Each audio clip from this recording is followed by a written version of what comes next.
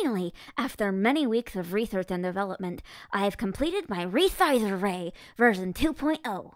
The effects of this device are extremely temporary, usually lasting only about a few minutes. Plus, it works on both organic and inorganic material to prevent any embarrassing wardrobe situations. Best of all, I've added a handy auto-fire function, just in case an army of rogue agents tries to steal my invention again.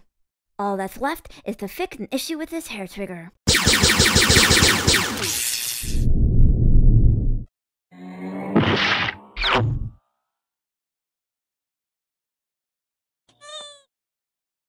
You need to get an actual footstool.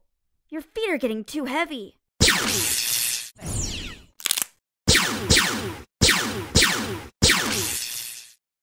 Yes!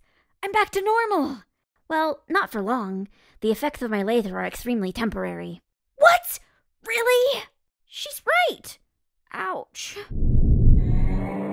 Sorry, you'll have to wait for the dormant radiation to leave your body.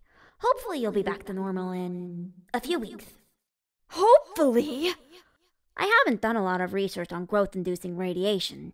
For all I know, you could be stuck at giant size well into adulthood.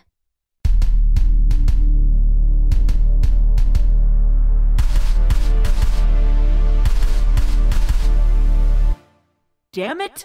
I'm still a giant! I can't be a giant my entire life! Don't worry, I'll find a solution before it gets to that point.